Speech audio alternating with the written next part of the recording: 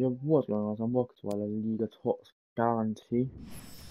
I've had to put my Trapp into that because EA decided not to give me my Super League Tots pack yet, which I'm really happy about. But so they better pay out with this pack. Alright, small tots guaranteed. Please, French, French. Oh my god. Oh, don't get me wrong. Card looks insane, but he's small. And he's never, ever going to scale into our team.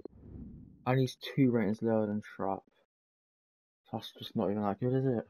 Well, if. Tell me what you got in your packs, I guess, in the comments, yeah. Why?